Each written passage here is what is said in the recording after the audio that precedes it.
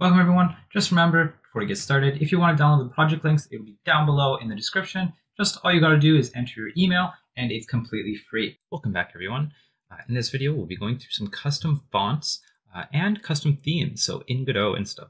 So the first thing I want to show you guys is how to get a font. So it's actually pretty easy. You can just quick Google search free font and you'll find a bunch of free fonts. There's ones from Google, ones from uh, these ones. You can even search up um, game font, right? And you'll get more gamey fonts. Right? So if we go over here, we can find some of these uh, cool fonts. You might even find some pixelated ones. Uh, I tend to like these ones, but do keep in mind that not all of them are generally free for personal use. Uh, so you do have to take a look at, you know, the ones that you're able to use, uh, those kind of things. So there's even, you know, Japanese.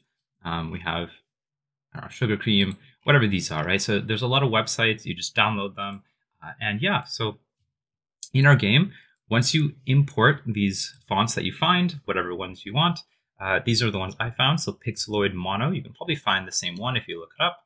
Uh, just make sure that you have a .ttf file. Uh, there are other files that would probably work. Uh, I don't remember them all though, so I'm not going to list them all in this video.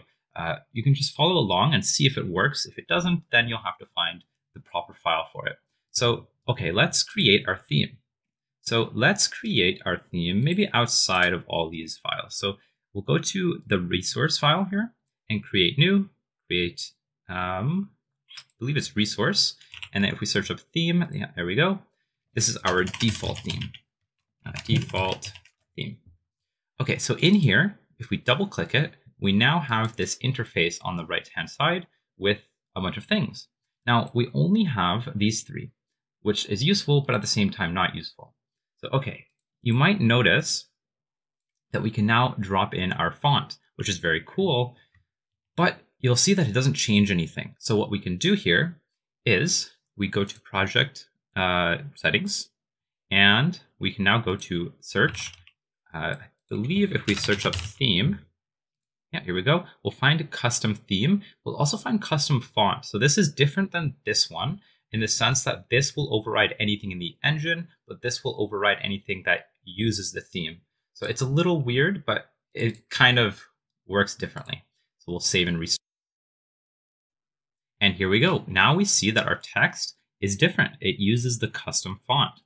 All right, that is our first default uh, theme thing. So you can even see here all the things that are inside of our game now are using that font. Now, these are the default themes that we have. Now, I want to edit these, right? I want to edit some of them. Let's say the button, the panel, etc. right? So we're going to start with the panel and the buttons. Okay, so to, to add a theme, we have to go to Manage Items and import an item. So, okay, the button is one of them, right? We also want to do panel. So let's find our panel here and import this as well. And progress bar, right? Almost forgot. We want to get the progress bar as well. So this will be for HP. I'll show you guys how to do that later though. Um, so we'll do the theme for it and we'll implement the actual HP later, right?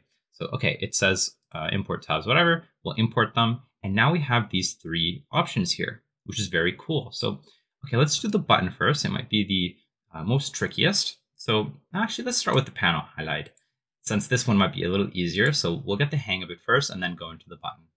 Okay, we want to go to the panel and select new style box texture because we have a texture image, right, that we want to fill in. So let's select this. And now you can see our uh, panel disappears, but don't worry, we're going to fix that soon. Now the texture, if we open this up, we'll find a texture tab that I can pop it in. And now you can see that this pops in. Now that's not what I want, obviously. So what I can do is go to the sub-region, edit region, and we can now find a panel that I want. Now, some of these you might not have, like this one. I did customize um, some of these myself. So this one is a collection of, I believe this one on the top and this one on the bottom. So I just, you know, copy pasted it and brought in a full panel. Um, you can easily do this in your own pixel art editors. Uh, if you don't know how to do that, you can look it up on YouTube uh, as I'm not, probably not going to be showing you in this series. Uh, but I did use Graphics Gale if anyone's interested. It's a free software. Uh, it's really easy to download, and there's even a portable version for it. So, okay, usually um, in Godot, in, in the subregions, you'll find there's different snap modes. Now, this one won't work with uh, a lot of these. So grid snap is usually pretty nice because grid snap will allow you to snap it. Now this one's not in the grid, so it, we're not going to use that. The auto slice is also pretty useful, but in this case, it doesn't work as well because the assets are not like uh, far away from each other, at least not far enough. So we're going to use none, and we're just going to do this ourselves. So we can just draw a triangle here and move these up into the square or into the rectangle as much as we can. And if we do this, you'll now see we have a panel. Now, this isn't really what we want. How do we make these borders a little smaller? Well, these dotted lines here, if I move it to the uh, side, we can actually make it so that it uh, essentially takes its original size on the outside. So now if you see we moved everything in the middle, we can even move it a little closer. Uh, in fact, I'm going to move it all the way to the top to avoid these yellow lines here. And then same thing over here. And now we are taking this part in the middle. So now you can see in our panel on the outside, it looks a little cleaner. Okay, so all right, that's our panel.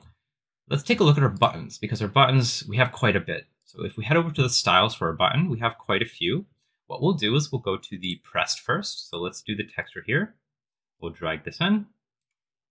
And let's go to the subregion, edit region. And if we zoom out, uh, we should have these three buttons. So we have pressed, hover, and normal. So we have these three, which is nice. So let's pop them in.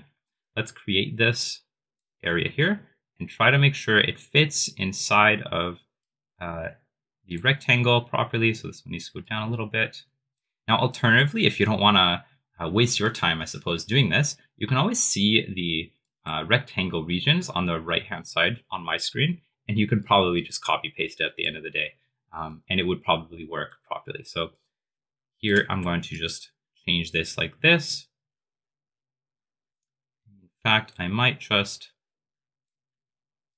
do that. And now we have our button like this. So this will take the middle part and I want this guy to be outside of it. So now our button looks like that on the press button. So it looks a little weird, but that's what we're going to have. Um, although, let me just check.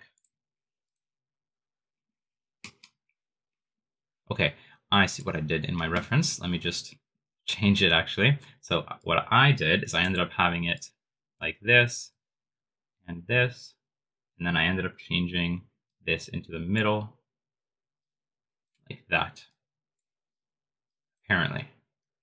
Okay, no, that's not perfect. Okay, I'm gonna, I'm just gonna pop in the numbers. Um, this will be 83.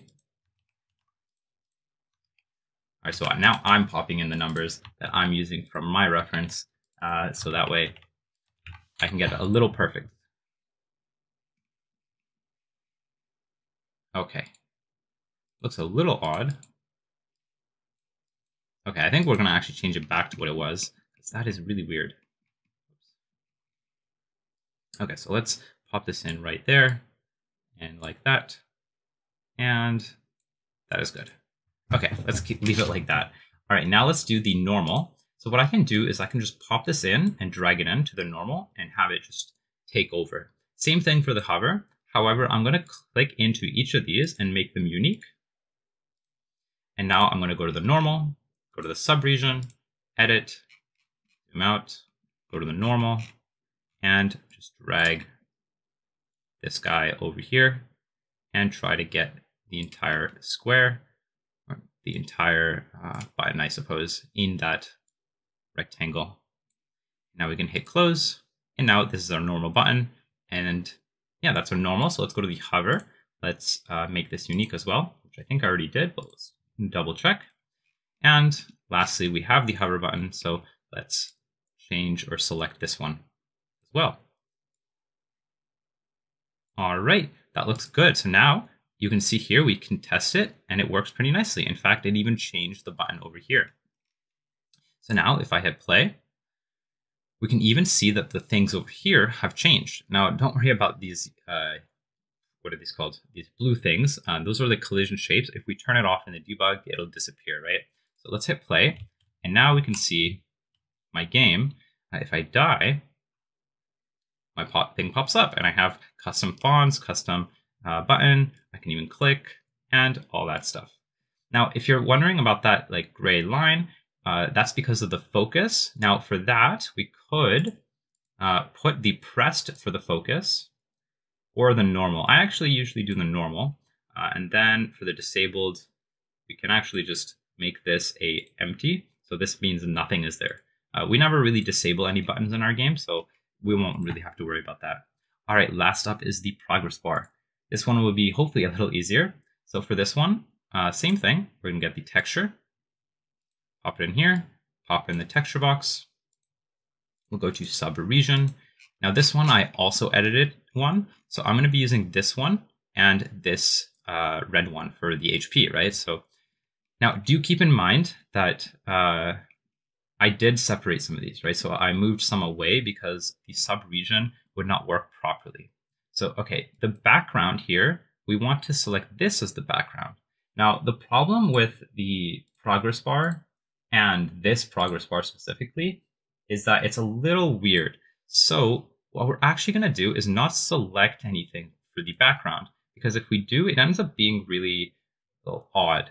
So what we're actually going to do for the background is make it empty. And then for the fill, that's what we're going to use uh, for the actual fill. So we're going to go to, To go to the texture and then pop in our texture, go to subregion, and then select our red like so. And then we can move up, uh, move this down here and move the dotted line over here. And this one like that. And now we have a red fill. Now, what we'll do for the background or the actual texture for the background is we'll use subregion, but for sprite.